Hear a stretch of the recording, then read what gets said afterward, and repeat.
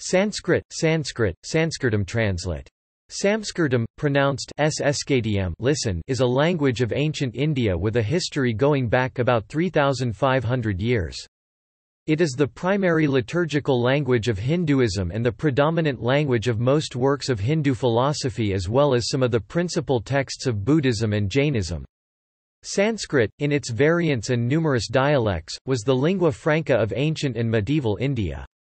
In the early first millennium CE, along with Buddhism and Hinduism, Sanskrit migrated to Southeast Asia, parts of East Asia and Central Asia, emerging as a language of high culture and of local ruling elites in these regions. Sanskrit is an Old Indo-Aryan language. As one of the oldest documented members of the Indo-European family of languages, Sanskrit holds a prominent position in Indo-European studies. It is related to Greek and Latin, as well as Hittite, Luwian, Old Avestan, and many other extinct languages with historical significance to Europe, West Asia, and Central Asia. It traces its linguistic ancestry to the Proto-Indo-Aryan language, Proto-Indo-Iranian, and the Proto-Indo-European languages. Sanskrit is traceable to the second millennium BCE in a form known as the Vedic Sanskrit, with the Rigveda as the earliest known composition. A more refined and standardized grammatical form called the Classical Sanskrit emerged in mid-1st millennium BCE with the Astadhyayi treatise of Panini. Sanskrit, though not necessarily Classical Sanskrit, is the root language of many Prakrit languages.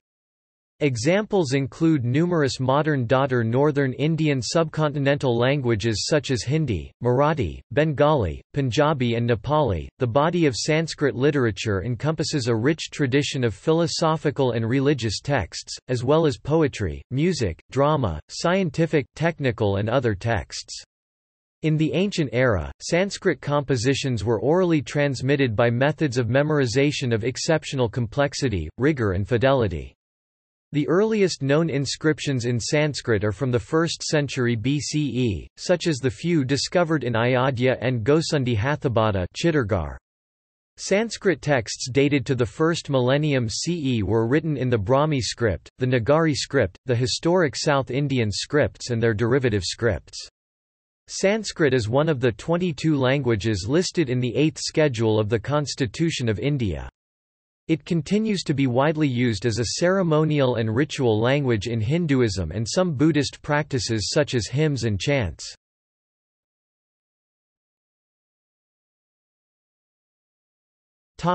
Etymology and nomenclature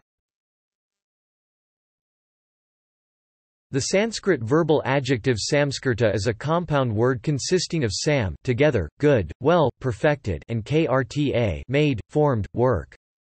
It connotes a work that has been well prepared, pure and perfect, polished, sacred. According to Biderman, the perfection contextually being referred to in the etymological origins of the word as its tonal qualities, rather than semantic. Sound and oral transmission were highly valued quality in ancient India, and its sages refined the alphabet, the structure of words and its exacting grammar into a collection of sounds, a kind of sublime musical mold. States Biderman, as an integral language they called Sanskrit. From late Vedic period onwards, state Annette Wilke and Oliver Moebus, resonating sound and its musical foundations attracted an exceptionally large amount of linguistic, philosophical and religious literature in India. The sound was visualized as pervading all creation.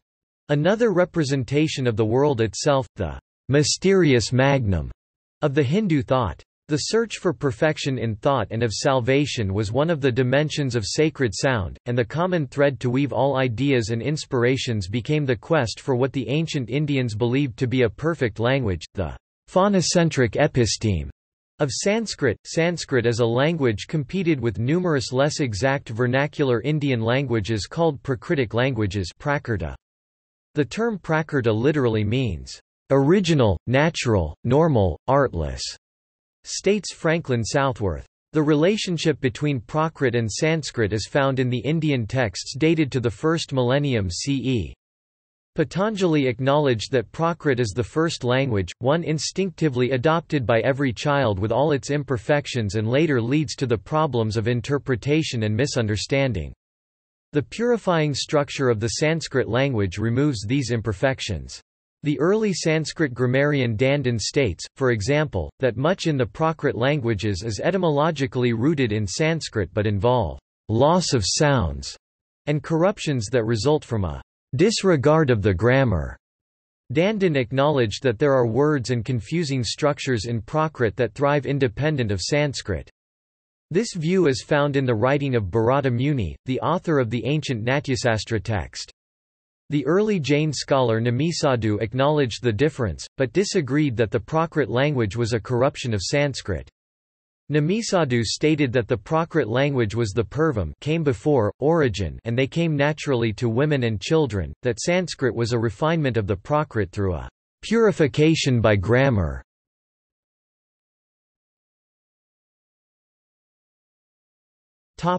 History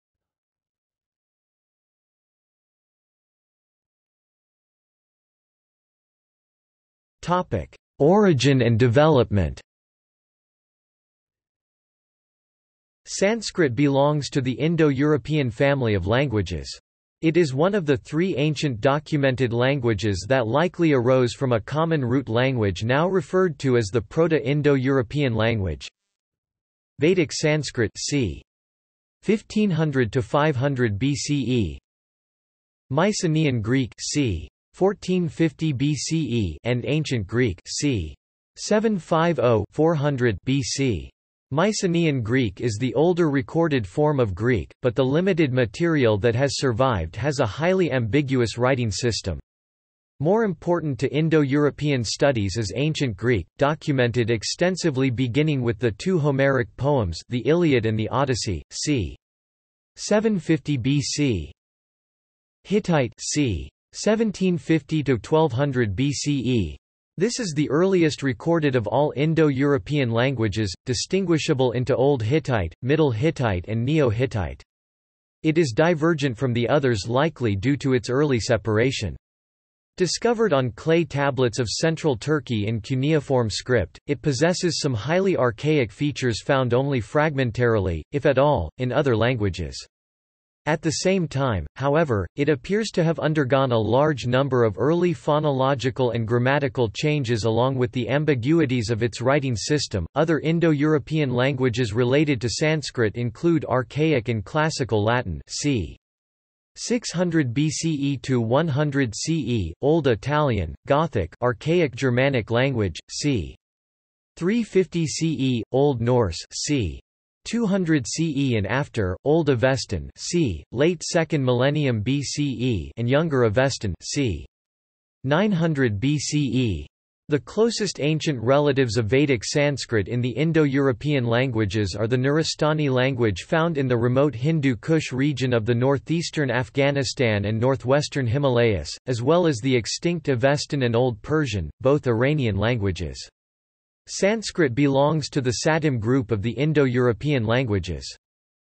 Colonial-era scholars familiar with Latin and Greek were struck by the resemblance of the Sanskrit language, both its vocabulary and grammar, to the classical languages of Europe. It suggested a common root and historical links between some of the major distant ancient languages of the world.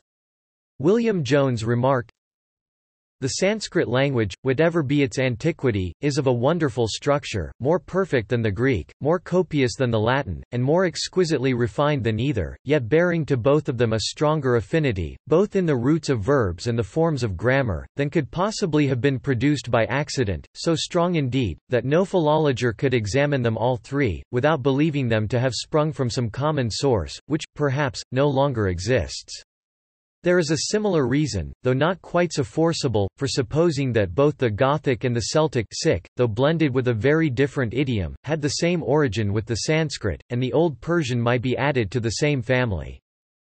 In order to explain the common features shared by Sanskrit and other Indo-European languages, the Indo-Aryan migration theory states that the original speakers of what became Sanskrit arrived in the Indian subcontinent from the northwest sometime during the early 2nd millennium BCE.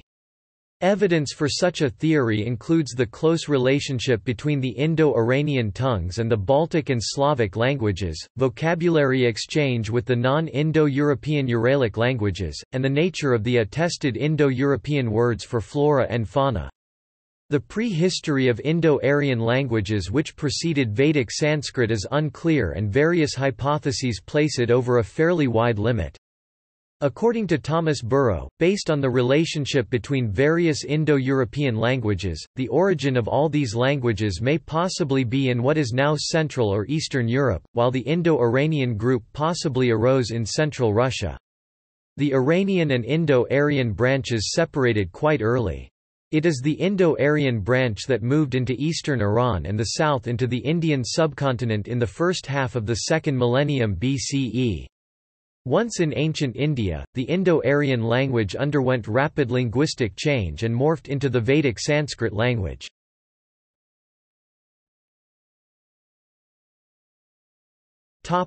Vedic Sanskrit The pre-classical form of Sanskrit is known as Vedic Sanskrit. The earliest attested Sanskrit text is the Rigveda, a Hindu scripture, from the mid to late 2nd millennium BCE. No written records from such an early period survive if they ever existed. However, scholars are confident that the oral transmission of the texts is reliable. They were ceremonial literature where the exact phonetic expression and its preservation were a part of the historic tradition. The Rigveda is a collection of books, created by multiple authors from distant parts of ancient India. These authors represented different generations, and the mandalas 2 to 7 are the oldest while the mandalas 1 and 10 are relatively the youngest. Yet, the Vedic Sanskrit in these books of the Rigveda hardly presents any dialectical diversity, states Louis Renou, an Indologist known for his scholarship of the Sanskrit literature and the Rigveda in particular. According to Renou, this implies that the Vedic Sanskrit language had a set linguistic pattern by the second half of the second millennium BCE.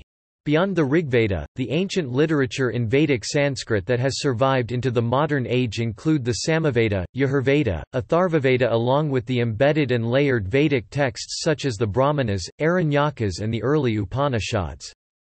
These Vedic documents reflect the dialects of Sanskrit found in the various parts of the northwestern, northern, and eastern Indian subcontinent. Vedic Sanskrit was both a spoken and literary language of ancient India. According to Michael Witzel, Vedic Sanskrit was a spoken language of the semi-nomadic Aryas who temporarily settled in one place, maintained cattle herds, practiced limited agriculture and after some time moved by wagon train they called grama.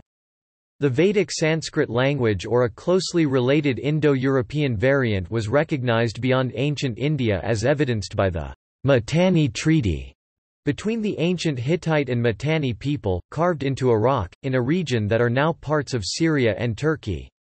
Parts of this treaty such as the names of the Mitannian princes and technical terms related to horse training, for reasons not understood, are in early forms of Vedic Sanskrit. The treaty also invokes the gods Varuna, Mitra, Indra and Nasatya found in the earliest layers of the Vedic literature.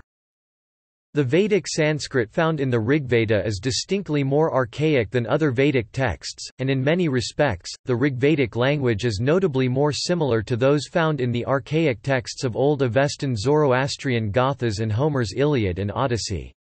According to Stephanie W. Jameson and Joel P. Brereton, Indologists known for their translation of the Rigveda, the Vedic Sanskrit literature, clearly inherited from Indo-Iranian and Indo-European times, the social structures such as the role of the poet and the priests, the patronage economy, the phrasal equations and some of the poetic meters. While there are similarities, state Jameson and Brereton, there are also differences between Vedic Sanskrit, the Old Avestan, and the Mycenaean Greek literature. For example, unlike the Sanskrit similes in the Rigveda, the Old Avestan Gathas lack simile entirely, and it is rare in the later version of the language. The Homerian Greek, like Rigvedic Sanskrit, deploys simile extensively, but they are structurally very different.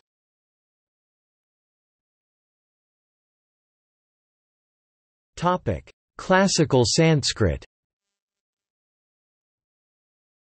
The early Vedic form of the Sanskrit language was far less homogeneous, and it evolved over time into a more structured and homogeneous language, ultimately into the classical Sanskrit by about the mid-1 Street millennium BCE.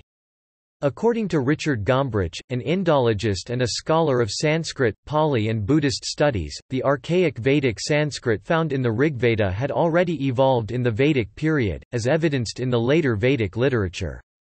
The language in the early Upanishads of Hinduism and the late Vedic literature approaches classical Sanskrit, while the archaic Vedic Sanskrit had by the Buddha's time become unintelligible to all except ancient Indian sages, states Gombrich. The formalization of the Sanskrit language is credited to Panini, along with Patanjali's Mahabhasya and Katyayana's commentary that preceded Patanjali's work. Panini composed Astadhyayi, eight-chapter grammar, the century in which he lived is unclear and debated, but his work is generally accepted to be from sometime between 6th and 4th centuries BCE. The Astadhyayi was not the first description of Sanskrit grammar, but it is the earliest that has survived in full. Panini cites ten scholars on the phonological and grammatical aspects of the Sanskrit language before him, as well as the variants in the usage of Sanskrit in different regions of India.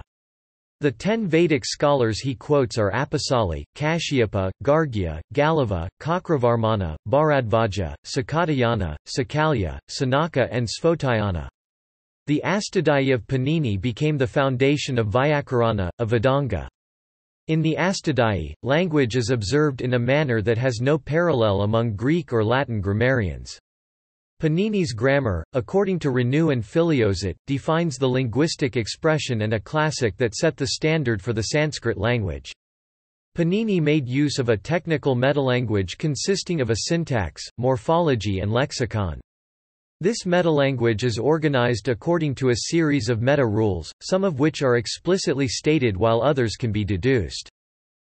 Panini's comprehensive and scientific theory of grammar is conventionally taken to mark the start of classical Sanskrit. His systematic treatise inspired and made Sanskrit the preeminent Indian language of learning and literature for two millennia. It is unclear whether Panini wrote his treatise on Sanskrit language or he orally created the detailed and sophisticated treatise then transmitted it through his students. Modern scholarship generally accepts that he knew of a form of writing, based on references to words such as lipi script", and lipikara scribe". In section 3.2 of the Astadhyayi, the classical Sanskrit language formalized by Panini, states Renou, is not an impoverished language. Rather it is a controlled and a restrained language from which archaisms and unnecessary formal alternatives were excluded. The classical form of the language simplified the Sandhi rules but retained various aspects of the Vedic language, while adding rigor and flexibilities, so that it had sufficient means to express thoughts as well as being capable of responding to the future increasing demands of an infinitely diversified literature." According to Renou. Panini included numerous optional rules Beyond the Vedic Sanskrit's Bahulam framework, to respect liberty and creativity so that individual writers separated by geography or time would have the choice to express facts and their views in their own way, where tradition followed competitive forms of the Sanskrit language.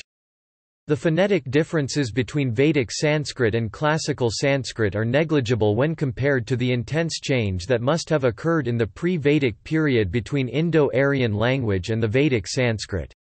The noticeable differences between the Vedic and the classical Sanskrit include the much expanded grammar and grammatical categories as well as the differences in the accent, the semantics and the syntax.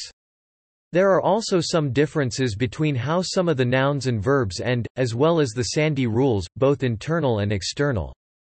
Quite many words found in the early Vedic Sanskrit language are never found in late Vedic Sanskrit or classical Sanskrit literature, while some words have different and new meanings in classical Sanskrit when contextually compared to the early Vedic Sanskrit literature. Arthur Macdonell was among the early colonial era scholars who summarized some of the differences between the Vedic and classical Sanskrit. Louis Renou published in 1956, in French, a more extensive discussion of the similarities, the differences, and and the evolution of the Vedic Sanskrit within the Vedic period and then to the classical Sanskrit along with his views on the history.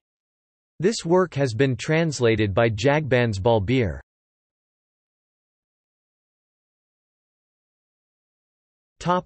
Sanskrit and Prakrit languages The earliest known use of the word Samskrta Sanskrit, in the context of a language, is found in verses 3.16.14 and 5.28.17-19 of the Ramayana. Sanskrit co-existed with numerous other Prakrit languages of ancient India. The Prakrit languages of India also have ancient roots and some Sanskrit scholars have called these apabhramsa, literally, spoiled. The Vedic literature includes words whose phonetic equivalent are not found in other Indo-European languages but which are found in the regional Prakrit languages, which makes it likely that the interaction, the sharing of words and ideas began early in the Indian history. As the Indian thought diversified and challenged earlier beliefs of Hinduism, particularly in the form of Buddhism and Jainism, the Prakrit languages such as Pali in Theravada Buddhism and Ardhamagadhi in Jainism competed with Sanskrit in the ancient times.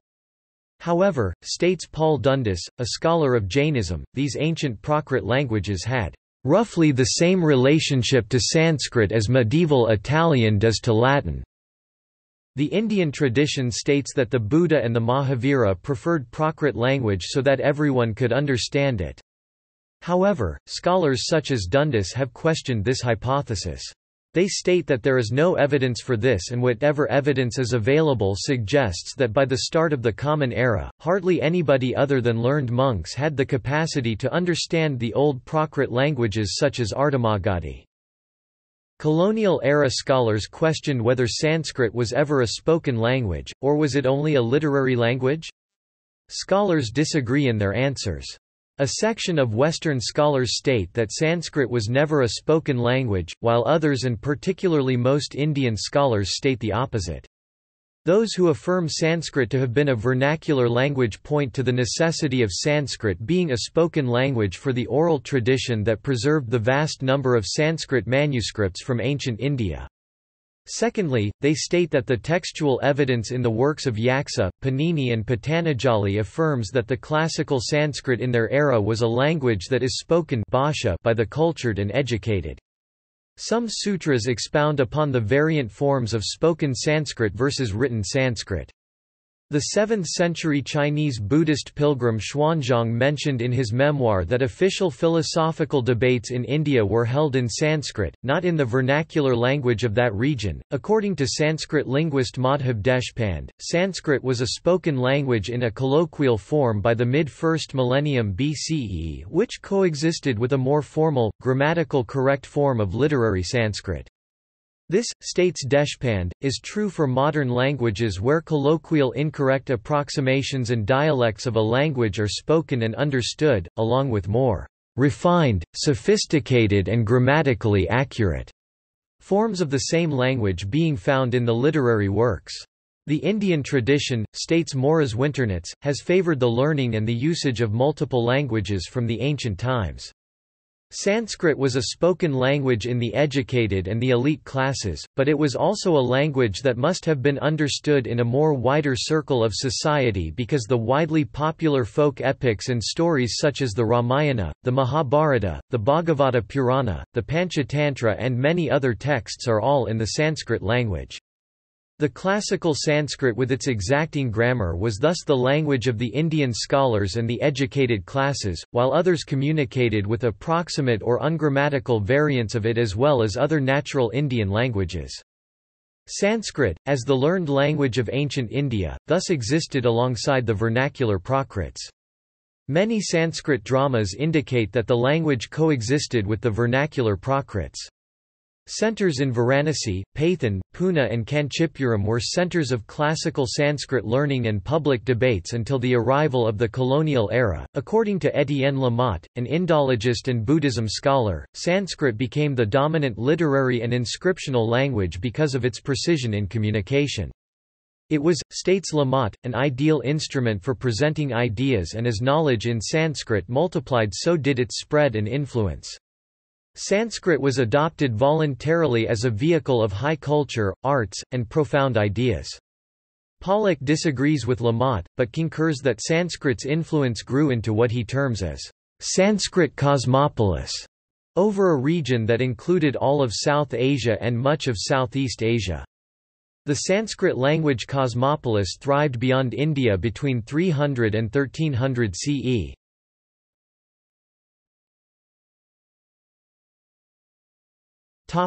Influence Sanskrit has been the predominant language of Hindu texts encompassing a rich tradition of philosophical and religious texts, as well as poetry, music, drama, scientific, technical and others. It is the predominant language of one of the largest collection of historic manuscripts. The earliest known inscriptions in Sanskrit are from the 1st century BCE, such as the Ayodhya inscription of Dana and Gosundi Hathabada. .Though developed and nurtured by scholars of orthodox schools of Hinduism, Sanskrit has been the language for some of the key literary works and theology of heterodox schools of Indian philosophies such as Buddhism and Jainism. The structure and capabilities of the classical Sanskrit language launched ancient Indian speculations about the nature and function of language. What is the relationship between words and their meanings in the context of a community of speakers, whether this relationship is objective or subjective, discovered or is created, how individuals learn and relate to the world around them through language, and about the limits of language. They speculated on the role of language, the ontological status of painting word images through sound, and the need for rules so that it can serve as a means for a community of speakers, separated by geography or time, to share and understand profound ideas from each other. These speculations became particularly important to the Mimamsa and the Nyaya schools of Hindu philosophy, and later to Vedanta and Mahayana Buddhism, states Frits Staal, a scholar of linguistics with a focus on Indian philosophies and Sanskrit. Though written in a number of different scripts, the dominant language of Hindu texts has been Sanskrit. It or a hybrid form of Sanskrit became the preferred language of Mahayana Buddhism scholarship. One of the early and influential Buddhist philosopher Nagarjuna 200 CE, for example, used classical Sanskrit as the language for his texts. According to Renou, Sanskrit had a limited role in the Theravada tradition formerly known as the Hinayana but the Prakrit works that have survived are of doubtful authenticity. Some of the canonical fragments of the early Buddhist traditions, discovered in the 20th century, suggest the early Buddhist traditions did use of imperfect and reasonably good Sanskrit, sometimes with a Pali syntax, states Renou. The Mahasamgika and Mahavastu, in their late Hinayana forms, used hybrid Sanskrit for their literature. Sanskrit was also the language of some of the oldest surviving, authoritative and much followed philosophical works of Jainism such as the Tattvartha Sutra by Umaswati.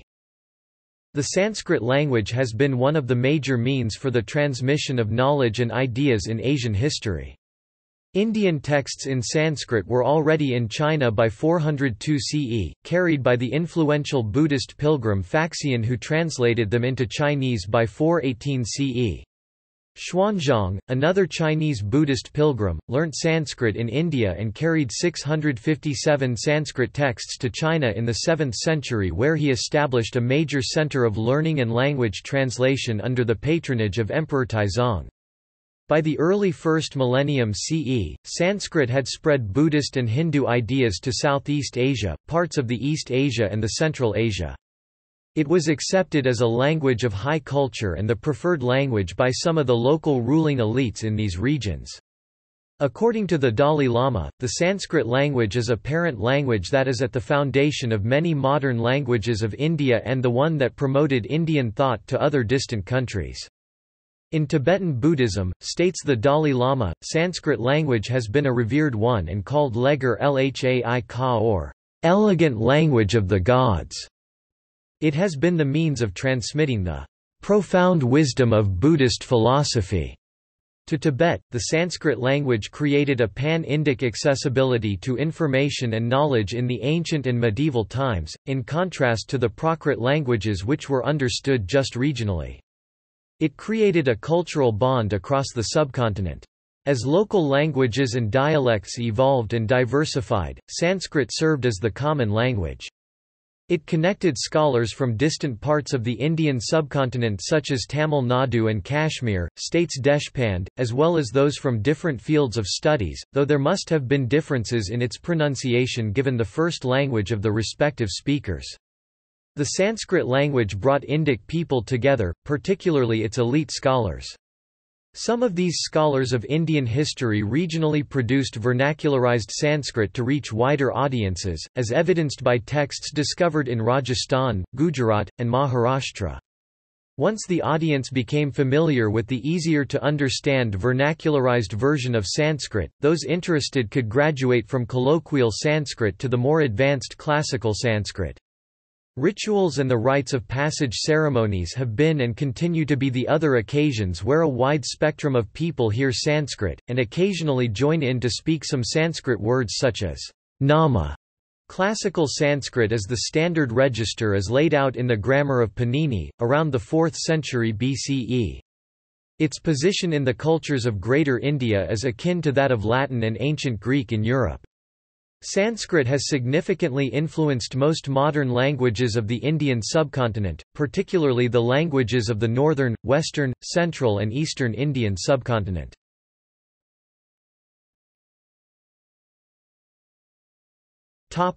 Decline Sanskrit declined starting about and after the 13th century. This coincides with the beginning of Islamic invasions of the Indian subcontinent to create, thereafter expand the Muslim rule in the form of sultanates and later the Mughal Empire.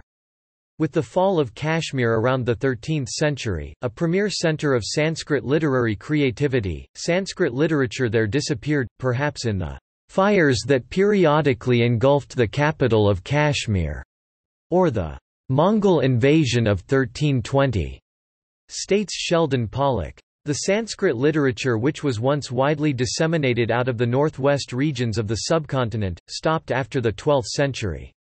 As Hindu kingdoms fell in the eastern and the south India, such as the great Vijayanagara Empire, so did Sanskrit.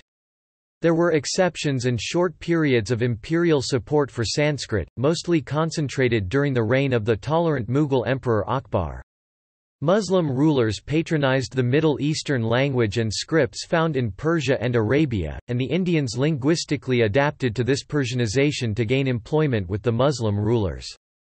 Hindu rulers such as Shivaji of the Maratha Empire, reversed the process, by re-adopting Sanskrit and re-asserting their socio-linguistic identity.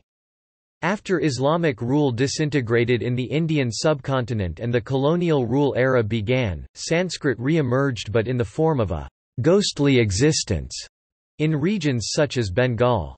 This decline was the result of «political institutions and civic ethos» that did not support the historic Sanskrit literary culture. Scholars are divided on whether or when Sanskrit died. Western authors such as John Snelling state that Sanskrit and Pali are both dead Indian languages. Indian authors such as M. Ramakrishnan Nair state that Sanskrit was a dead language by the first millennium BCE. Sheldon Pollock states that in some crucial way, Sanskrit is dead. After the 12th century, the Sanskrit literary works were reduced to reinscription and restatements of ideas already explored, and any creativity was restricted to hymns and verses.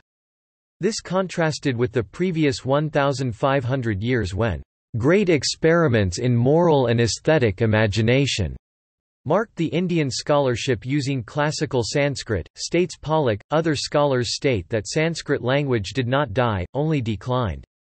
Hanneder disagrees with Pollock, finding his arguments elegant but often arbitrary. According to Hanneder, a decline or regional absence of creative and innovative literature constitutes a negative evidence to Pollock's hypothesis, but it is not positive evidence. A closer look at Sanskrit in the Indian history after the 12th century suggests that Sanskrit survived despite the odds. According to Hanneder, On a more public level the statement that Sanskrit is a dead language is misleading, for Sanskrit is quite obviously not as dead as other dead languages and the fact that it is spoken, written and read will probably convince most people that it cannot be a dead language in the most common usage of the term. Pollock's notion of the death of Sanskrit remains in this unclear realm between academia and public opinion when he says that most observers would agree that, in some crucial way, Sanskrit is dead. The Sanskrit language, states Moriz Winternitz, was never a dead language and it is still alive though its prevalence is lesser than ancient and medieval times. Sanskrit remains an integral part of Hindu journals, festivals, Ramlila plays, drama, rituals and the rites of passage. Similarly, Brian Hatcher states that the metaphors of historical rupture by Pollock are not valid, that there is ample proof that Sanskrit was very much alive in the narrow confines of surviving Hindu kingdoms between the 13th and 18th century, and its reverence and tradition continues. Hanneder states that modern works in Sanskrit are either ignored or their modernity contested. According to Robert Goldman and Sally Sutherland, Sanskrit is neither dead nor living in the conventional sense. It is a special, timeless language that lives in the numerous manuscripts, daily chants and ceremonial recitations, a heritage language that Indians contextually prize and some practice. When the British introduced English to India in the 19th century, knowledge of Sanskrit and ancient literature continued to flourish as the study of Sanskrit changed from a more traditional style into a form of analytical and comparative scholarship mirroring that of Europe.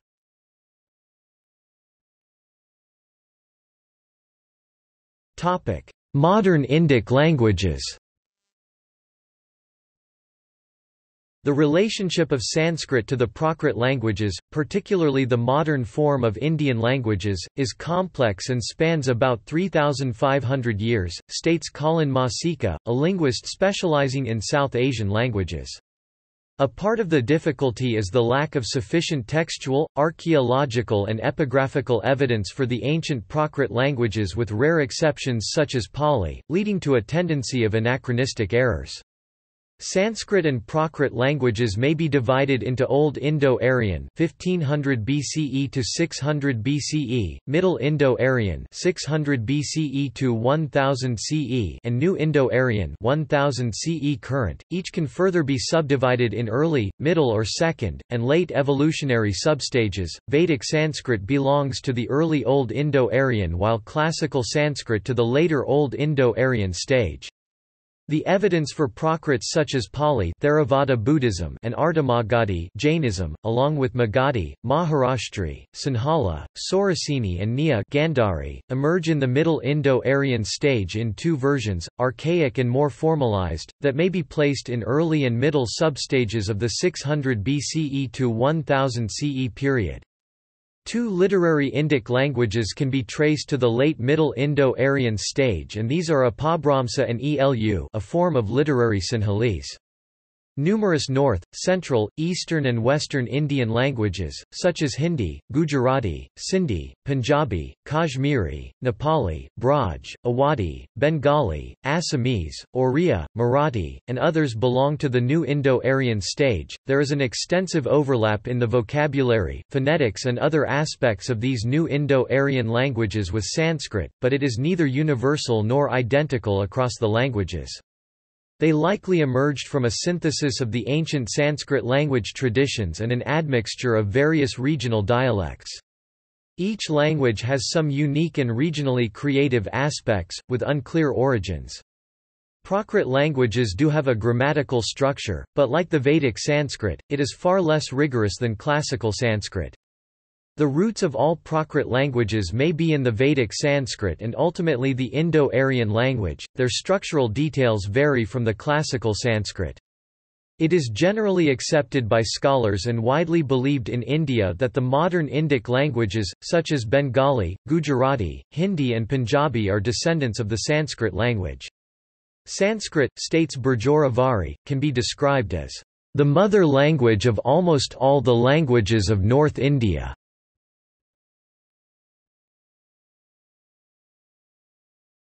Topic: Geographic distribution. The Sanskrit language's historic presence is attested across a wide geography beyond the Indian subcontinent. Inscriptions and literary evidence suggests that Sanskrit language was already being adopted in Southeast Asia and Central Asia in the first millennium CE. Through monks, religious pilgrims, and merchants, the Indian subcontinent has been the geographic range of the largest collection of the ancient and pre 18th century Sanskrit manuscripts and inscriptions. Beyond ancient India, significant collections of Sanskrit manuscripts and inscriptions have been found in China particularly the Tibetan monasteries, Myanmar, Indonesia, Cambodia, Laos, Vietnam, Thailand, and Malaysia. Sanskrit inscriptions, manuscripts or its remnants, including some of the oldest known Sanskrit written texts, have been discovered in dry high deserts and mountainous terrains such as in Nepal, Tibet, Afghanistan, Mongolia, Uzbekistan, Turkmenistan, Tajikistan, and Kazakhstan. Some Sanskrit texts and inscriptions have also been discovered in Korea and Japan.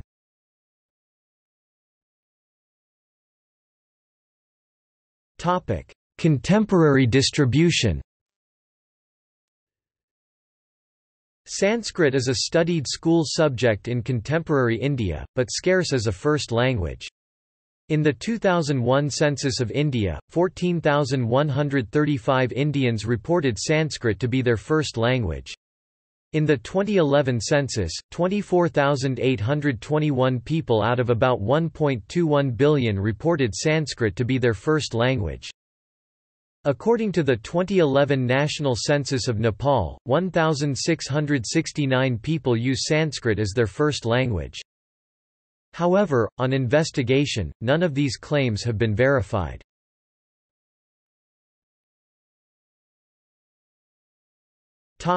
Official status In India, Sanskrit is among the 22 official languages of India in the 8th schedule to the constitution. The state of Uttarakhand in India lists Sanskrit as its second official language.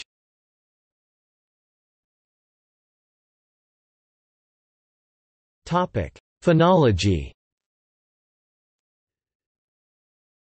Sanskrit shares many Proto-Indo-European phonological features, although it features a larger inventory of distinct phonemes. The consonantal system is the same, though it systematically enlarged the inventory of distinct sounds.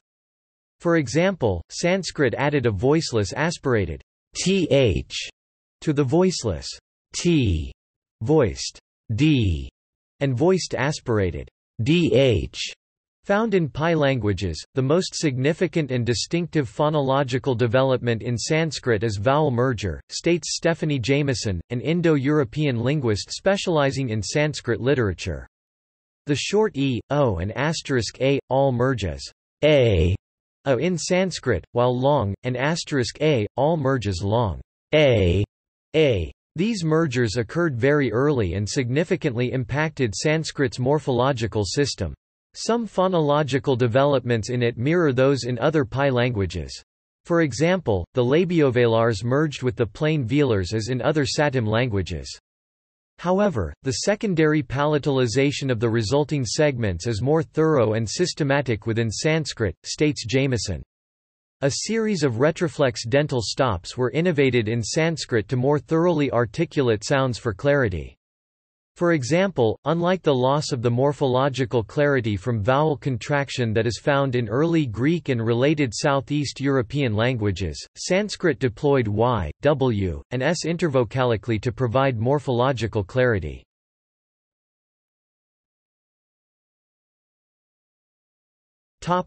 Vowels The cardinal vowels svaras i, i, u, ua a distinguish length in Sanskrit, states Jamison. The short a, a in Sanskrit is a closer vowel than a, equivalent to schwa. The mid-vowels e, e and o, o in Sanskrit are monophthongizations of the Indo-Iranian diphthongs i and o. The Old Iranian language preserved asterisk i and o. The Sanskrit vowels are inherently long, though often transcribed e and o without the diacritic. The vocalic liquid r, in Sanskrit is a merger of PIE r, and l. The long r, is an innovation and it is used in a few analogically generated morphological categories. According to Masica, Sanskrit has four traditional semivowels, with which were classed. For morphophonemic reasons, the liquids, y, r, l, and v, that is, as y and v were the non-syllabics corresponding to i, u, so were r, l in relation to r, and l. The northwestern, the central and the eastern Sanskrit dialects have had a historic confusion between r and l. The Paninian system that followed the central dialect preserved the distinction, likely out of reverence for the Vedic Sanskrit that distinguished the r and l. However, the northwestern dialect only had r, while the eastern dialect probably only had l, states Masica. Thus literary works from different parts of ancient India appear inconsistent in their use of r and l, resulting in doublets that is occasionally semantically differentiated.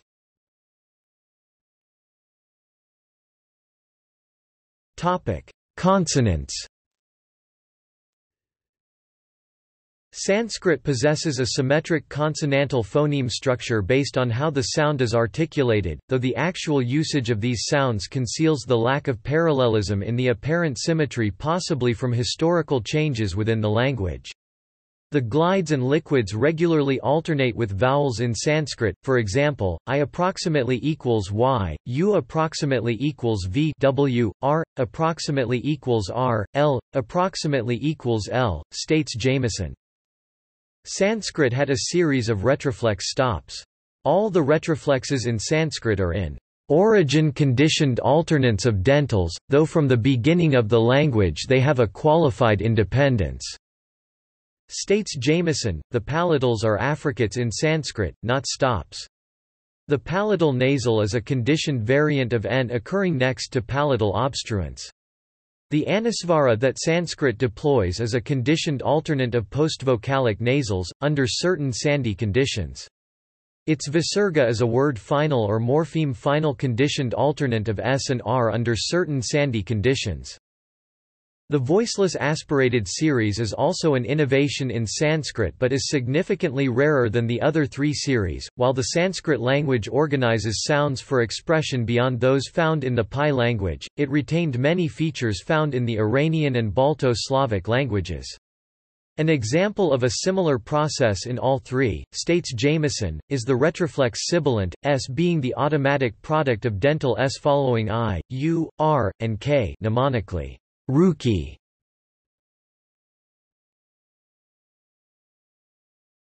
Topic: Phonological alternations, Sandhi rules. Sanskrit deploys extensive phonological alternations on different linguistic levels through Sandhi rules, literally the rules of putting together, union, connection, alliance. This is similar to the English alteration of going to as Gunna, states Jamison. The Sanskrit language accepts such alterations within it, but offers formal rules for the sandhi of any two words next to each other in the same sentence or linking two sentences. The external sandhi rules state that similar short vowels coalesce into a single long vowel, while dissimilar vowels form glides or undergo diphthongization. Among the consonants, most external sandhi rules recommend regressive assimilation for clarity when they are voiced. According to Jamison, these rules ordinarily apply at compound seams and morpheme boundaries. In Vedic Sanskrit, the external sandhi rules are more variable than in classical Sanskrit, the internal sandhi rules are more intricate and account for the root and the canonical structure of the Sanskrit word. These rules anticipate what are now known as the Bartholomae's law and Grassmann's law. For example, states Jamison, the Voiceless, voiced, and voiced aspirated obstruents of a positional series regularly alternate with each other p approximately equals b approximately equals bh, t approximately equals d approximately equals dh, etc. Note, however, c approximately equals j approximately equals h, such that, for example, a morpheme with an underlying voiced aspirate final may show alternance with all three styles stops under differing internal sandhi conditions. The velar series K, G, GH alternate with the palatal series C, J, H, while the structural position of the palatal series is modified into a retroflex cluster when followed by dental. This rule create two morphophonemically distinct series from a single palatal series. Vocalic alternations in the Sanskrit morphological system is termed strengthening and called guna and vriddhi in the preconsonantal versions.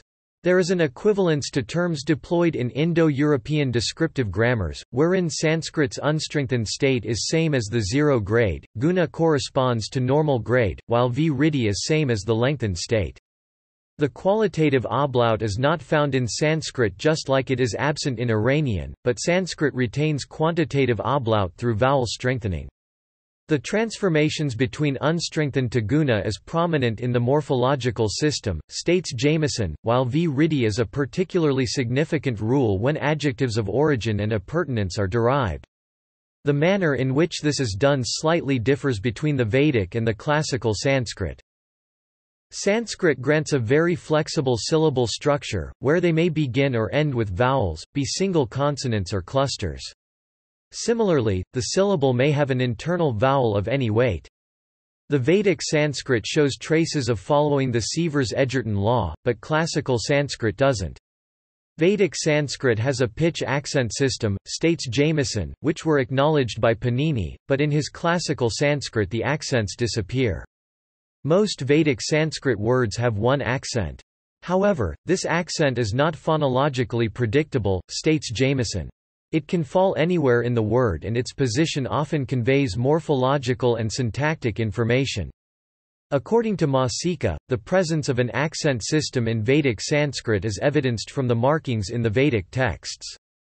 This is important because of Sanskrit's connection to the PIE languages and comparative Indo-European linguistics. Sanskrit, like most early Indo-European languages, lost the so-called Laryngeal consonants cover symbol H present in the Proto-Indo-European, states Jamison. This significantly impacted the evolutionary path of the Sanskrit phonology and morphology, particularly in the variant forms of roots.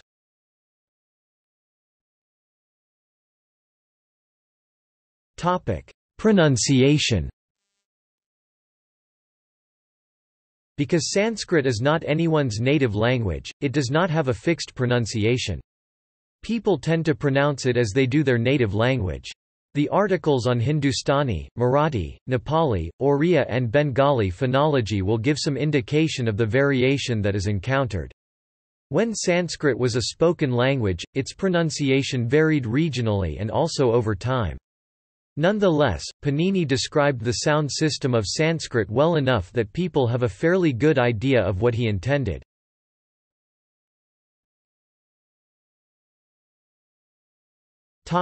Morphology The basis of Sanskrit morphology is the root, states Jamison, a morpheme bearing lexical meaning.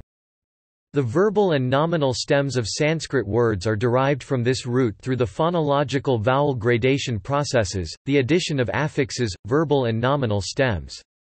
It then adds an ending to establish the grammatical and syntactic identity of the stem. According to Jamison, the Three major formal elements of the morphology are i root, e affix, and e ending, and they are roughly responsible for i lexical meaning, e derivation, and e inflection respectively. A Sanskrit word has the following canonical structure Root plus affix 0 n plus ending 0 to 1 The root structure has certain phonological constraints. Two of the most important constraints of a root is that it does not end in a short a, and that it is monosyllabic. In contrast, the affixes and endings commonly do. The affixes in Sanskrit are almost always suffixes, with exceptions such as the augment a added as prefix to past tense verb forms and the na, n infix in single verbal present class, states Jamison. A verb in Sanskrit has the following canonical structure Root plus suffix tense aspect plus suffix mood plus ending personal number voice According to Ruppel, verbs in Sanskrit express the same information as other Indo-European languages such as English. Sanskrit verbs describe an action or occurrence or state, its embedded morphology informs as to who is doing it, person or persons, when it is done, tense and how it is done, mood, voice. The Indo-European languages differ in the detail. For example, the Sanskrit language attaches the affixes and ending to the verb root, while the English language adds small independent words before the verb. In Sanskrit, these elements co-exist within the word. Both verbs and nouns in Sanskrit are either thematic or athematic, states Jamison. Guna strengthened forms in the active singular regularly alternate in athematic verbs. The finite verbs of classical Sanskrit have the following grammatical categories, person, number, voice, tense aspect, and mood. According to Jamison, a portmanteau morpheme generally expresses the person number voice in Sanskrit, and sometimes also the ending or only the ending. The mood of the word is embedded in the affix. These elements of word architecture are the typical building blocks in classical Sanskrit, but in Vedic Sanskrit these elements fluctuate and are unclear. For example, in the Rigveda preverbs regularly occur in tmesis, states Jamison, which means they are separated from the finite verb. This indecisiveness is likely linked to Vedic Sanskrit's attempt to incorporate accent with nonfinite forms of the verb and with nominal derivatives thereof, states Jamison.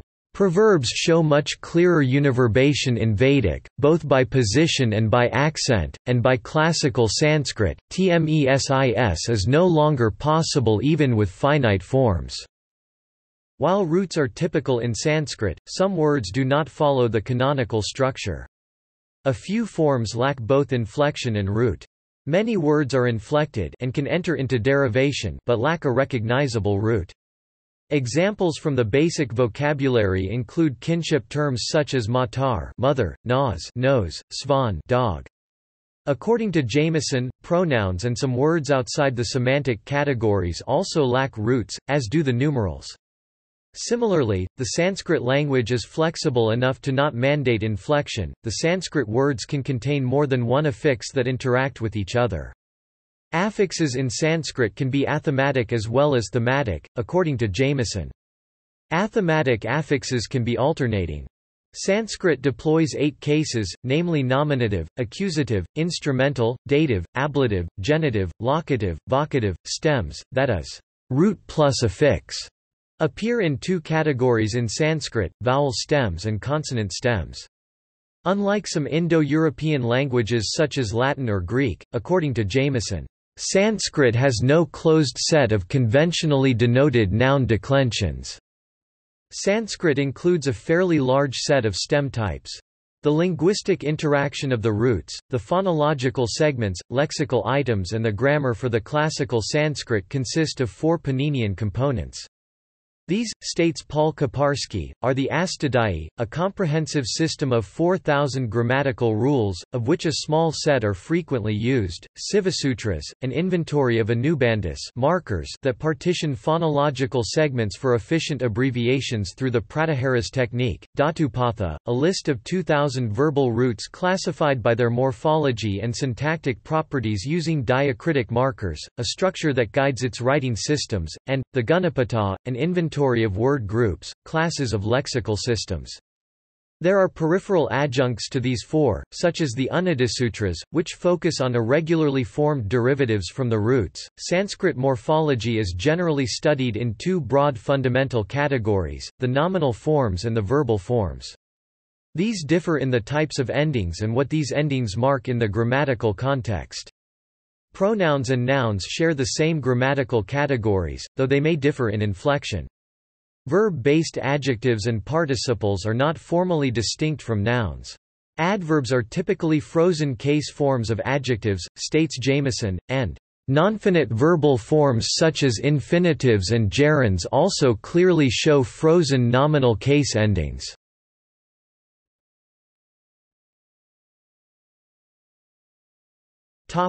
Tense and voice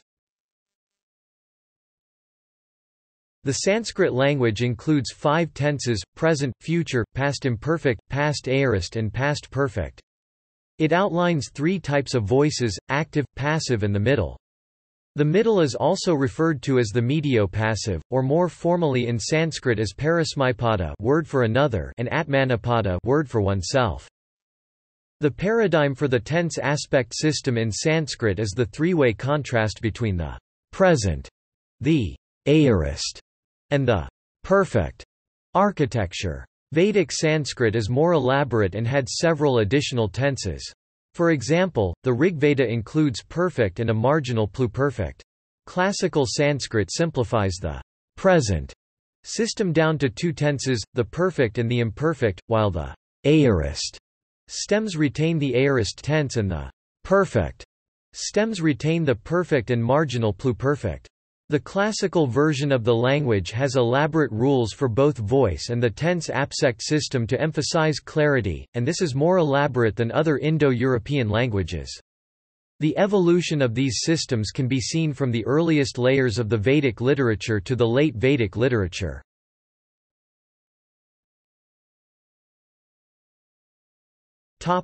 Gender, mood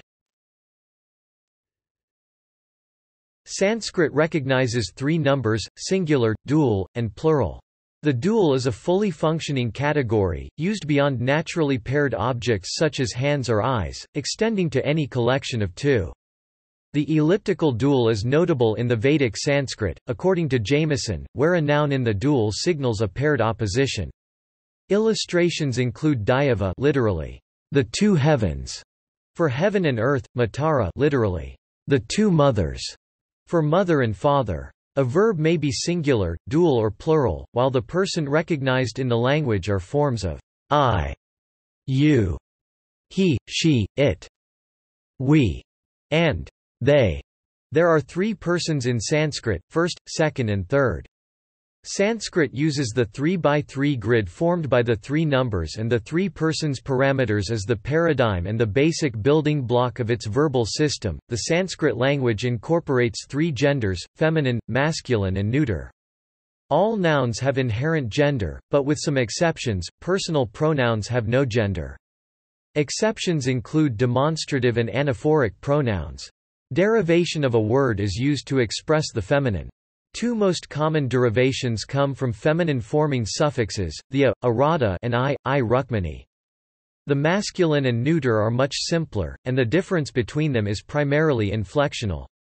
Similar affixes for the feminine are found in many Indo-European languages, states Burrow, suggesting links of the Sanskrit to its PIE heritage. Pronouns in Sanskrit include the personal pronouns of the first and second persons, unmarked for gender, and a larger number of gender-distinguishing pronouns and adjectives.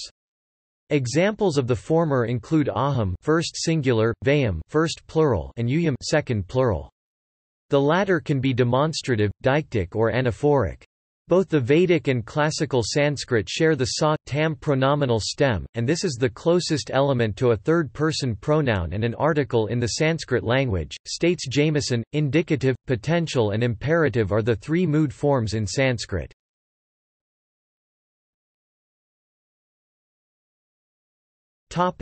Prosody, meter The Sanskrit language formally incorporates poetic meters. By the late Vedic era, this developed into a field of study and it was central to the composition of the Hindu literature including the later Vedic texts. This study of Sanskrit prosody is called Chandas and considered as one of the six Vedangas, or limbs of Vedic studies. Sanskrit prosody includes linear and nonlinear systems. The system started off with seven major meters, according to Annette Wilke and Oliver Moebus, called the Seven Birds, or seven mouths of Brihaspati, and each had its own rhythm, movements and aesthetics wherein a nonlinear structure aperiodicity was mapped into a four-verse polymorphic linear sequence. A syllable in Sanskrit is classified as either laghu light or guru heavy. This classification is based on a matra literally, count, measure, duration, and typically a syllable that ends in a short vowel is a light syllable, while those that end in consonant, anusvara or visarga are heavy. The classical Sanskrit found in Hindu scriptures such as the Bhagavad Gita and many texts are so arranged that the light and heavy syllables in them follow a rhythm, though not necessarily a rhyme. Sanskrit meters include those based on a fixed number of syllables per verse, and those based on fixed number of morae per verse. The Vedic Sanskrit employs 15 meters, of which 7 are common, and the most frequent are 3, 8, 11 and 12 syllable lines. The classical Sanskrit deploys both linear and nonlinear meters, many of which are based on syllables and others based on diligently crafted verses based on repeating numbers of morae matra per foot. Meter and rhythm is an important part of the Sanskrit language. It may have played a role in helping preserve the integrity of the message and Sanskrit texts. The verse perfection in the Vedic texts such as the verse Upanishads and post-Vedic Smriti texts are rich in prosody. This feature of the Sanskrit language led some Indologists from the 19th century onwards to identify suspected portions of texts where a line or sections are off the expected meter. The meter feature of the Sanskrit language embeds another layer of communication to the listener or reader. A change in meters has been a tool of literary architecture and an embedded code to inform the reciter and audience that it marks the end of a section or chapter. Each section or chapter of these texts uses identical meters, rhythmically presenting their ideas and making it easier to remember, recall and check for accuracy. Authors coded a hymn's end by frequently using a verse of a meter different than that used in the hymn's body. However, the Hindu tradition does not use the Gayatri meter to end a hymn or composition, possibly because it has enjoyed a special level of reverence in Hinduism.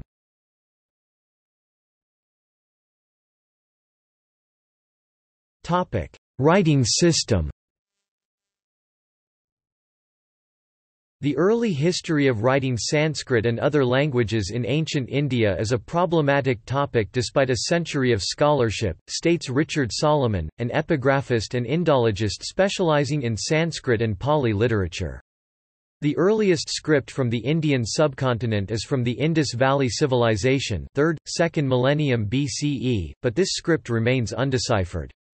Of the Vedic period that appeared after the Indus Valley Civilization, if any scripts for Vedic Sanskrit existed, they have not survived.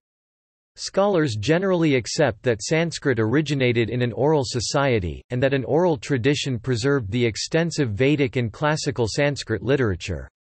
Other scholars such as Jack Goody state that the Vedic Sanskrit texts are not the product of an oral society, basing this view by comparing inconsistencies in the transmitted versions of literature from various oral societies such as the Greek, Serbian, and other cultures, then noting that the Vedic literature is too consistent and vast to have been composed and transmitted orally across generations, without being written down. Lipi is the term in Sanskrit which means writing, letters, alphabet. It contextually refers to scripts, the art or any manner of writing or drawing. The term, in the sense of a writing system, appears in some of the earliest Buddhist, Hindu, and Jaina texts. Panini's Astadhyayi, composed sometime around the 5th or 4th century BCE, for example, mentions Lipi in the context of a writing script and education system in his times, but he does not name the script. Several early Buddhist and Jaina texts, such as the Lalitavistara Sutra and Panavana Sutta include lists of numerous writing scripts in ancient India. However, the reliability of these lists has been questioned and the empirical evidence of writing systems in the form of Sanskrit or Prakrit inscriptions dated prior to the 3rd century BCE has not been found. If the ancient surface for writing Sanskrit was palm leaves, tree bark and cloth, the same as those in later times, these have not survived. According to Salomon, many find it difficult to explain the evidently high level of political organization and cultural complexity of ancient India without a writing system for Sanskrit and other languages, the oldest datable writing systems for Sanskrit are the Brahmi script, the related Kharosthi script and the Brahmi derivatives. The Kharosthi was used in the northwestern part of the Indian subcontinent and it became extinct, while the Brahmi was used in all over the subcontinent along with regional scripts such as Old Tamil. Of these, the earliest records in the Sanskrit language are in Brahmi, a script that later evolved into numerous related Indic scripts for Sanskrit, along with Southeast Asian scripts Burmese, Thai, Lao, Khmer, others and many extinct Central Asian scripts such as those discovered along with the Kharosthi in the Tarim Basin of western China and in Uzbekistan.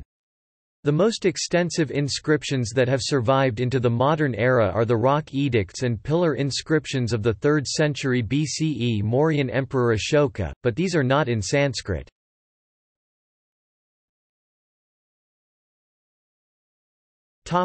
Scripts Sanskrit is written very precisely, states Ruppel. For every sound, it has one sign only, and each Sanskrit sign always represents the same sound. This phonetic aspect of Sanskrit distinguishes it from many of the world's languages. The basic graphic unit of Sanskrit is the aksara, or syllable. All consonants are equal in Sanskrit and it does not have capital and small letters, such as the a and a in English. However, vowels do not have an independent status in Sanskrit, unlike English and several other Indo-European languages. In Sanskrit, vowels co-exist with the consonants in order to achieve phonetic clarity.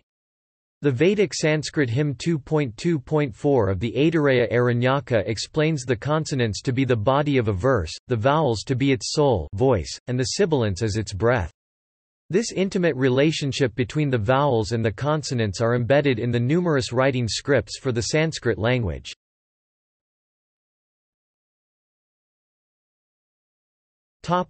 Brahmi script The Brahmi script for writing Sanskrit is a modified consonant syllabic script. The graphic syllable is its basic unit, and this consists of a consonant with or without diacritic modifications. Since the vowel is an integral part of the consonants, and given the efficiently compacted, fused consonant cluster morphology for Sanskrit words and grammar, the Brahmi and its derivative writing systems deploy ligatures, diacritics and relative positioning of the vowel to inform the reader how the vowel is related to the consonant and how it is expected to be pronounced for clarity. This feature of Brahmi and its modern Indic script derivatives makes it difficult to classify it under the main script types used for the writing systems for most of the world's languages, namely logographic, syllabic, and alphabetic. The Brahmi script evolved into a vast number of forms and derivatives, states Richard Salomon, and in theory, Sanskrit can be represented in virtually any of the main Brahmi-based scripts and in practice it often is. Sanskrit does not have a native script. Being a phonetic language, it can be written in any precise script that efficiently maps unique human sounds to unique symbols.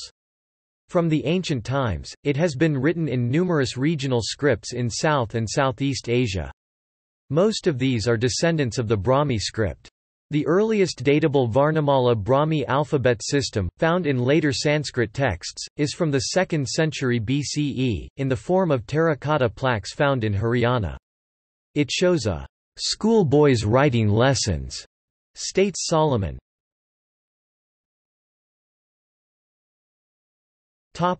Nagari script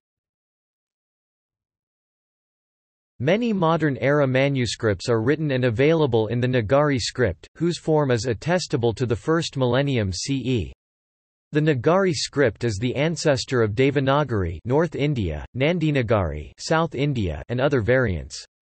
The Nagari script was in regular use by 7th century CE, and had fully evolved into Devanagari and Nandinagari scripts by about the end of the first millennium of the Common Era. The Devanagari script, states Banerjee, became more popular for Sanskrit in India since about the 18th century. However, Sanskrit does have special historical connection to the Nagari script as attested by the epigraphical evidence. The Nagari script has been thought as a North Indian script for Sanskrit as well as the regional languages such as Hindi, Marathi and Nepali. However, it has had a supra-local Status is evidenced by 1st millennium CE epigraphy and manuscripts discovered all over India and as far as Sri Lanka, Burma, Indonesia and in its parent form called the Siddhamatrka script found in manuscripts of East Asia. The Sanskrit and Balinese languages Sanur inscription on Belanjong Pillar of Bali Indonesia, dated to about 914 CE, is in part in the Nagari script. The Nagari script used for classical Sanskrit has the fullest repertoire of characters consisting of 14 vowels and 33 consonants. For the Vedic Sanskrit, it has two more allophonic consonantal characters the intervocalic lala, and la la.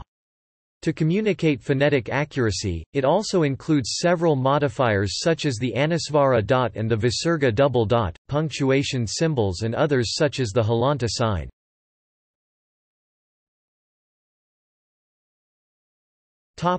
Other writing systems Other scripts such as Gujarati, Bangla, Odia and major South Indian scripts, states Salomon have been and often still are used in their proper territories for writing Sanskrit. These and many Indian scripts look different to the untrained eye, but the differences between Indic scripts is mostly superficial and they share the same phonetic repertoire and systemic features, states Salomon. They all have essentially the same set of 11 to 14 vowels and 33 consonants as established by the Sanskrit language and attestable in the Brahmi script. Further, a closer examination reveals that they all have the similar basic graphic principles, the same Varnamala literally, garland of letters, Alphabetic ordering following the same logical phonetic order, easing the work of historic skilled scribes writing or reproducing Sanskrit works across the Indian subcontinent. The Sanskrit language written in some Indic scripts exaggerate angles or round shapes, but this serves only to mask the underlying similarities. Nagari script favors symmetry set with squared outlines and right angles. In contrast, Sanskrit written in the Bangla script emphasizes the acute angles while the neighboring Odia script emphasizes rounded shapes and uses cosmetically appealing, umbrella-like curves. Above the script symbols, in the south, where Dravidian languages predominate, scripts used for Sanskrit include the Kannada, Telugu, Malayalam and Grantha alphabets.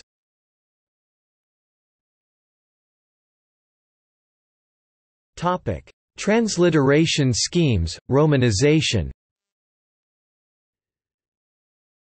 Since the late 18th century, Sanskrit has been transliterated using the Latin alphabet. The system most commonly used today is the IAST International Alphabet of Sanskrit Transliteration, which has been the academic standard since 1888. ASCII-based transliteration schemes have also evolved because of difficulties representing Sanskrit characters in computer systems. These include Harvard Kyoto and ITRANS, a transliteration scheme that is used widely on the Internet, especially in Usenet and in email, for considerations of speed of entry as well as rendering issues. With the wide availability of Unicode-aware web browsers, IAST has become common online. It is also possible to type using an alphanumeric keyboard and transliterate to Devanagari using software like Mac OS X's international support. European scholars in the 19th century generally preferred Devanagari for the transcription and reproduction of whole texts and lengthy excerpts.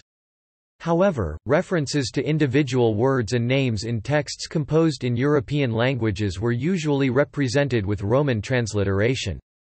From the 20th century onwards, because of production costs, textual editions edited by Western scholars have mostly been in Romanized transliteration.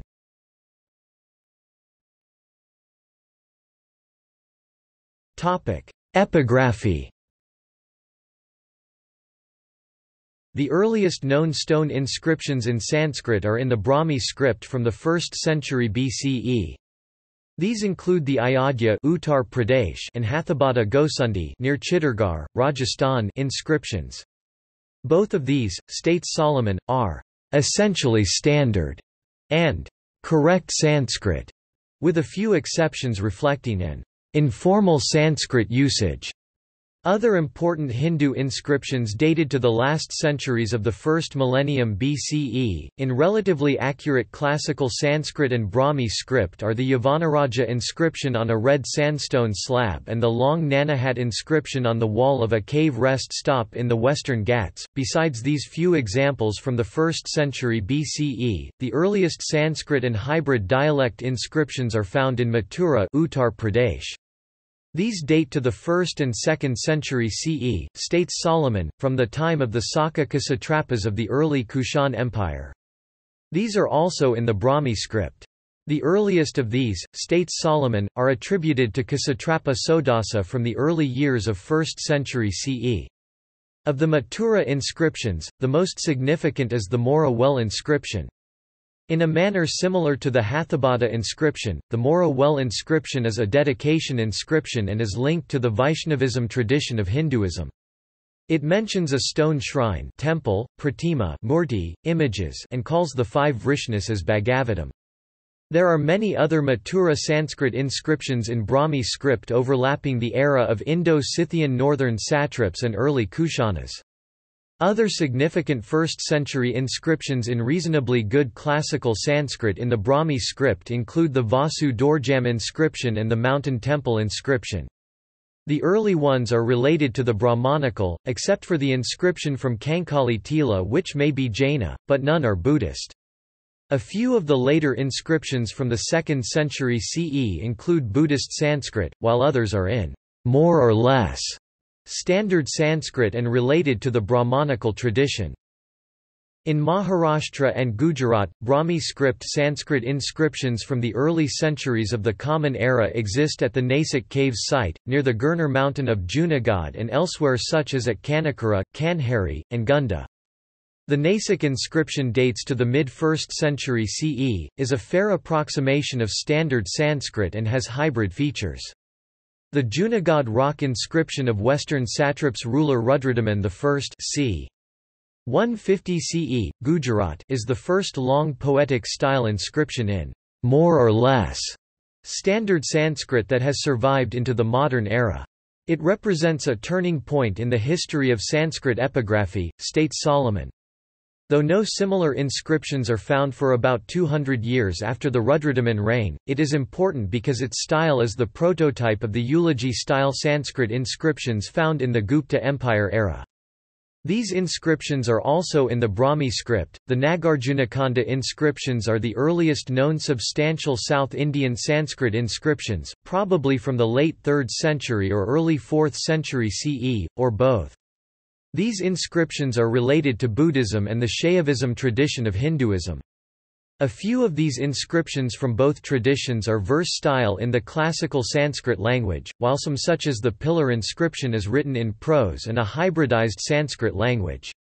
An earlier hybrid Sanskrit inscription found on Amravati slab is dated to the late 2nd century, while a few later ones include Sanskrit inscriptions along with Prakrit inscriptions related to Hinduism and Buddhism. After the 3rd century CE, Sanskrit inscriptions dominate and many have survived. Between the 4th and 7th century CE, South Indian inscriptions are exclusively in the Sanskrit language. In the eastern regions of the Indian subcontinent, scholars report minor Sanskrit inscriptions from the 2nd century, these being fragments and scattered. The earliest substantial true Sanskrit language inscription of Susunia West Bengal is dated to the 4th century. Elsewhere, such as Dehradun Uttarakhand, inscriptions in more or less correct classical Sanskrit inscriptions are dated to the 3rd century. According to Salomon, the 4th century reign of Samudragupta was the turning point when the classical Sanskrit language became established as the epigraphic language par excellence of the Indian world. These Sanskrit language inscriptions are either donative or panegyric records. Generally in accurate classical Sanskrit, they deploy a wide range of regional Indic writing systems extant at the time.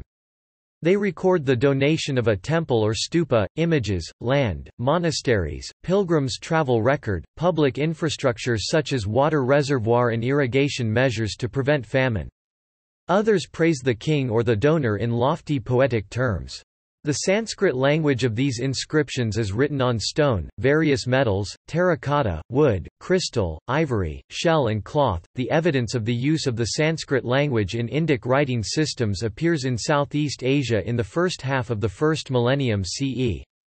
A few of these in Vietnam are bilingual where both the Sanskrit and the local language is written in the Indian alphabet. Early Sanskrit language inscriptions in Indic writing systems are dated to the 4th century in Malaysia, 5th to 6th century in Thailand near Si Tep and the Sak River, early 5th century in Kutai East Borneo and mid-5th century in West Java Indonesia. Both major writing systems for Sanskrit, the North Indian and South Indian scripts, have been discovered in Southeast Asia, but the southern variety with its rounded shapes are far more common. The Indic scripts, particularly the Pallava script prototype, spread and ultimately evolved into Mon Burmese, Khmer, Thai, Laos, Sumatran, Celebes, Javanese and Balinese scripts. From about the 5th century, Sanskrit inscriptions become common in many parts of South Asia and Southeast Asia, with significant discoveries in Nepal, Vietnam and Cambodia.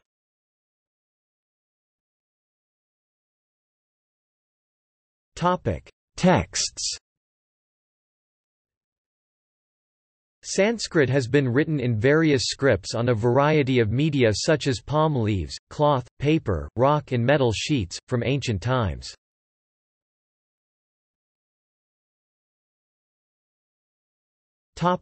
Influence on other languages For nearly 2,000 years, Sanskrit was the language of a cultural order that exerted influence across South Asia, Inner Asia, Southeast Asia, and to a certain extent East Asia. A significant form of post-Vedic Sanskrit is found in the Sanskrit of Indian epic poetry—the Ramayana and Mahabharata. The deviations from Panini and the epics are generally considered to be on account of interference from Prakrits, or innovations, and not because they are pre-Paninian. Traditional Sanskrit scholars call such deviations arsa, arsa meaning of the Arsases, the traditional title for the ancient authors. In some contexts, there are also more prakritisms, borrowings from common speech than in classical Sanskrit proper. Buddhist hybrid Sanskrit is a literary language heavily influenced by the Middle Indo-Aryan languages, based on early Buddhist Prakrit texts which subsequently assimilated to the classical Sanskrit standard in varying degrees.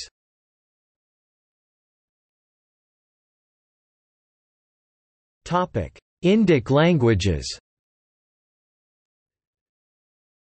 Sanskrit has greatly influenced the languages of India that grew from its vocabulary and grammatical base, for instance, Hindi is a Sanskritized register of Hindustani. All modern Indo-Aryan languages, as well as Munda and Dravidian languages have borrowed many words either directly from Sanskrit Tatsama words, or indirectly via Middle Indo-Aryan languages Tadbhava words.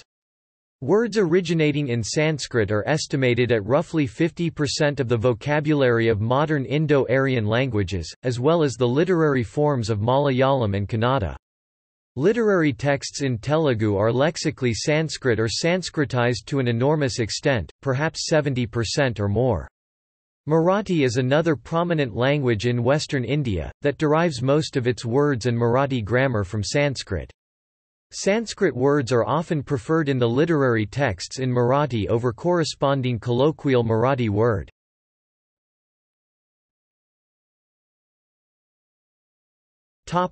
Interaction with other languages Buddhist Sanskrit has had a considerable influence on East Asian languages such as Chinese, state William Wang and Kaiaphan Sun. Many words have been adopted from Sanskrit into the Chinese, both in its historic religious discourse and everyday use. This process likely started about 200 CE and continued through about 1400 CE, with the efforts of monks such as Yuji, Anxi, Kangju, Tianzhu, Yan Fodao, Faxian, Xuanzang and Yijing. Further, as the Chinese language and culture influenced the rest of East Asia, the ideas in Sanskrit texts and some of its linguistic elements migrated further. Sanskrit has also influenced Sino Tibetan languages, mostly through translations of Buddhist hybrid Sanskrit. Many terms were transliterated directly and added to the Chinese vocabulary. Chinese words like shana chana Devanagari, kasana kasana instantaneous period were borrowed from Sanskrit. Many Sanskrit texts survive only in Tibetan collections of commentaries to the Buddhist teachings. The Tengyur Sanskrit was a language for religious purposes and for the political elite in parts of medieval era Southeast Asia, Central Asia, and East Asia. In Southeast Asia, languages such as Thai and Lao contain many loanwords from Sanskrit, as do Khmer. For example, in Thai, Ravana, the emperor of Lanka, is called Thosakanth, a derivation of his Sanskrit name Dasakantha, having ten necks. Many Sanskrit loanwords are also found in Austronesian languages, such as Javanese, particularly the older form in which nearly half the vocabulary is borrowed. Other Austronesian languages, such as traditional Malay and modern Indonesian, also derive much of their vocabulary from Sanskrit. Similarly, Philippine languages such as Tagalog have some Sanskrit loanwords, although more are derived from Spanish. A Sanskrit loanword encountered in many Southeast Asian languages is the word bhasa, or spoken language, which is used to refer to the names of many languages. English also has words of Sanskrit origin. Sanskrit has also influenced the religious register of Japanese mostly through transliterations, these were borrowed from Chinese transliterations.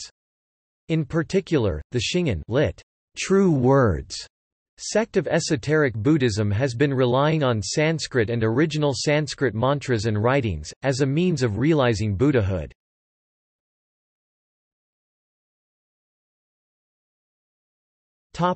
Sanskrit revival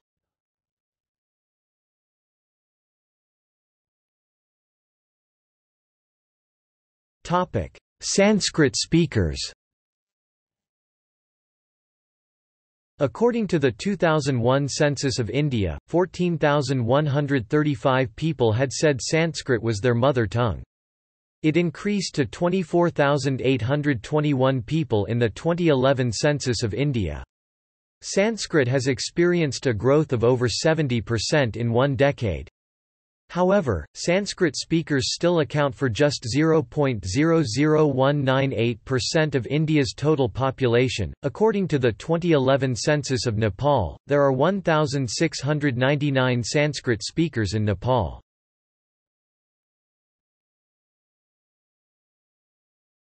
Topic: Sanskrit villages.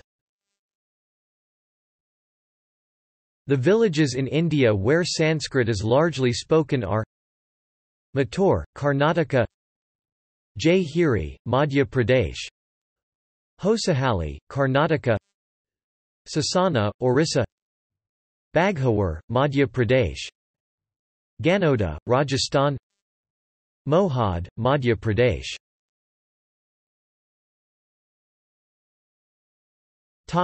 Modern era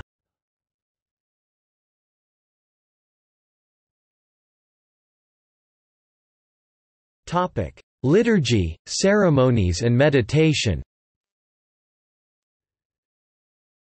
Sanskrit is the sacred language of various Hindu, Buddhist, and Jain traditions.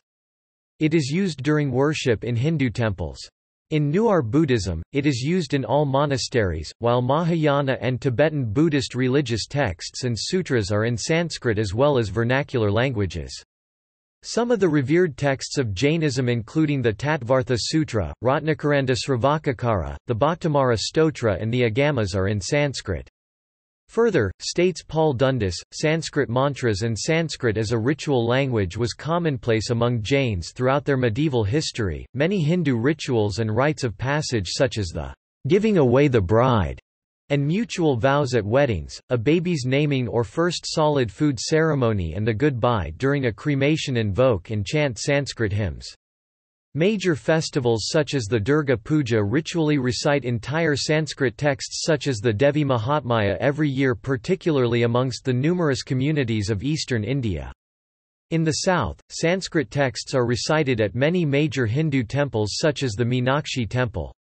According to Richard H. Davis, a scholar of religion and South Asian studies, the breadth and variety of oral recitations of the Sanskrit text Bhagavad Gita is remarkable.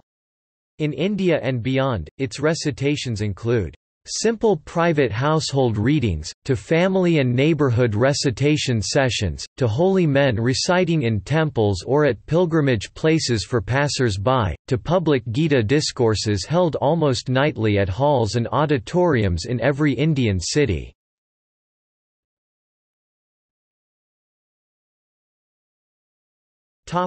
Literature and arts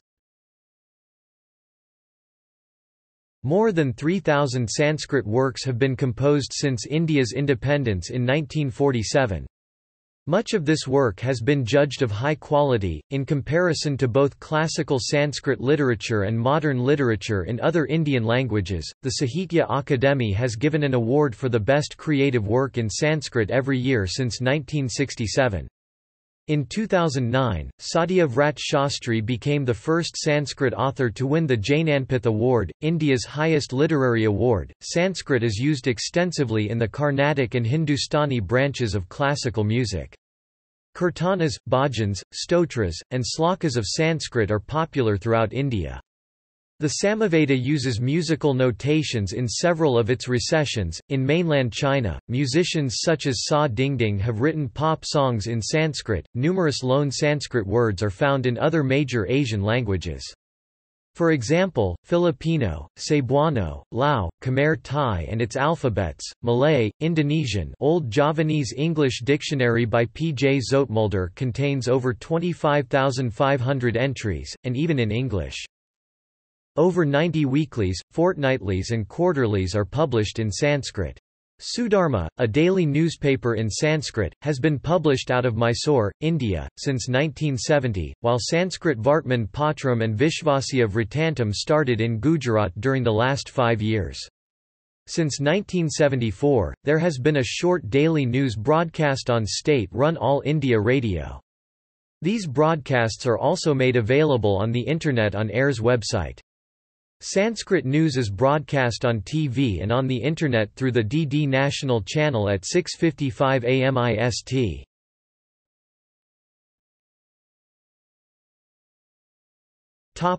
Schools and contemporary status Sanskrit is one of the 15 languages of the 8th schedule to the Constitution of India. The Central Board of Secondary Education of India CBSE, along with several other state education boards, has made Sanskrit an alternative option to the state's own official language as a second or third language choice in the schools it governs. In such schools, learning Sanskrit is an option for grades 5 to 8 classes V to 8. This is true of most schools affiliated with the Indian Certificate of Secondary Education board, especially in states where the official language is Hindi. Sanskrit is also taught in traditional gurukulas throughout India. A number of colleges and universities in India have dedicated departments for Sanskrit studies.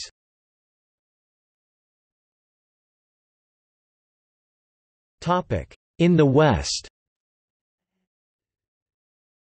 St James Junior School in London, England, offers Sanskrit as part of the curriculum.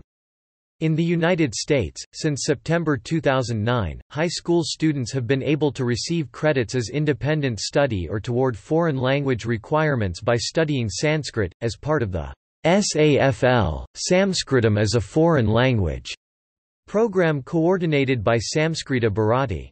In Australia, the Sydney Private Boys High School Sydney Grammar School offers Sanskrit from years 7 through to 12, including for the higher school certificate.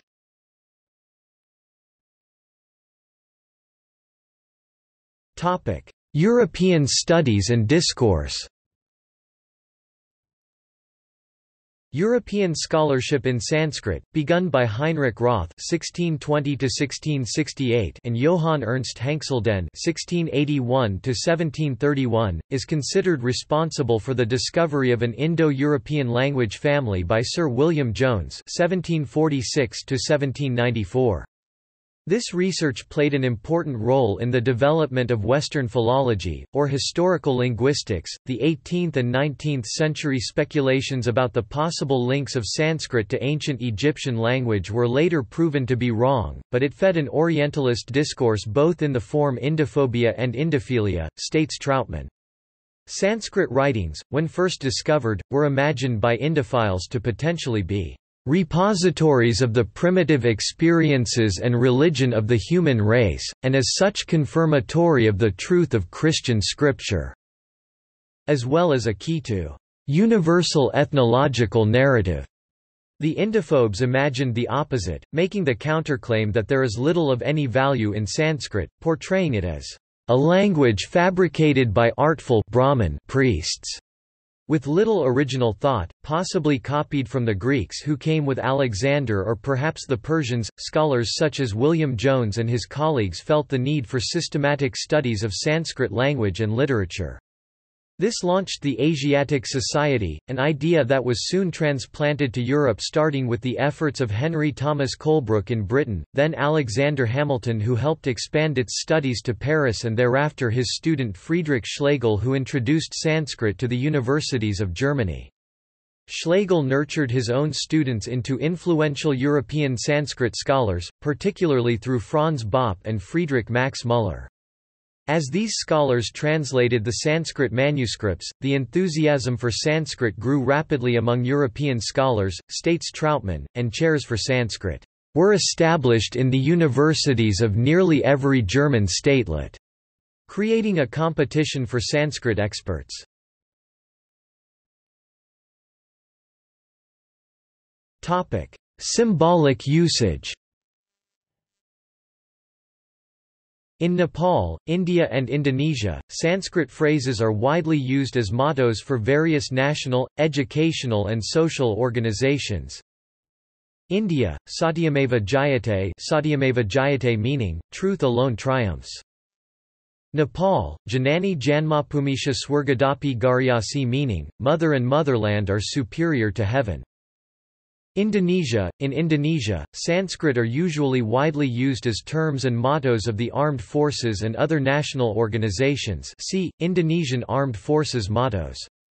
Rashtra Suakatama, Rashtra Savakatama People's Main Servants is the official motto of the Indonesian National Police. Tri Dharma Eka Karma Tridharma Eka Karma is the official motto of the Indonesian military. Kartika Eka Pashhai, Kartika Eka Paksi Unmatchable Bird with Noble Goals is the official motto of the Indonesian Army. Adhita Karya Mahatvavirya Negara Bhakti Adhitakarya Mahatvavirya Negara Bhakti Hard-working knights serving bravery as nation's hero is the official motto of the Indonesian Military Academy, Upakriya Labda Prayohana Balatama.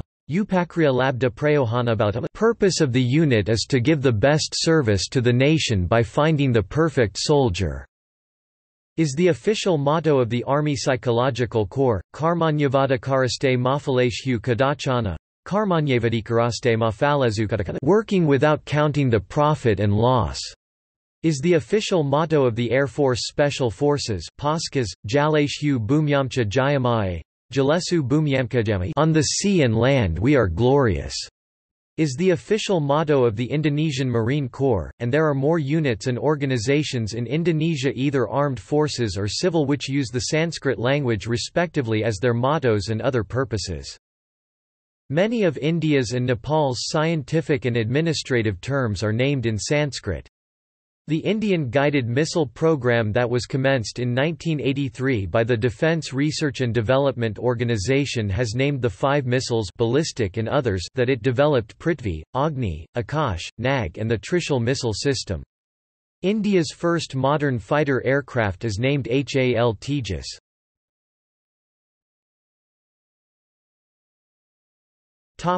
In popular culture Satyagraha, an opera by Philip Glass, uses texts from the Bhagavad Gita, sung in Sanskrit. The closing credits of The Matrix Revolutions has a prayer from the Brihadaranyaka Upanishad. The song, Cyber Raga, From Madonna's album music includes Sanskrit chants, and Shanti, Ashtangi from her 1998 album Ray of Light, which won a Grammy, is the Ashtanga Vinyasa Yoga chant. The lyrics include the mantra Om Shanti.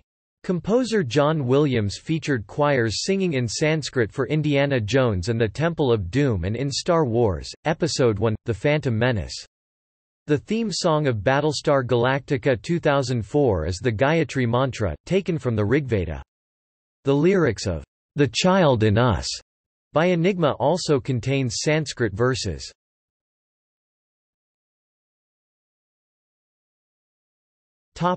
See also Devanagari Bengali.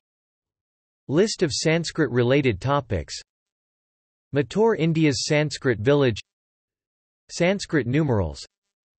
The Spitzer manuscript. Notes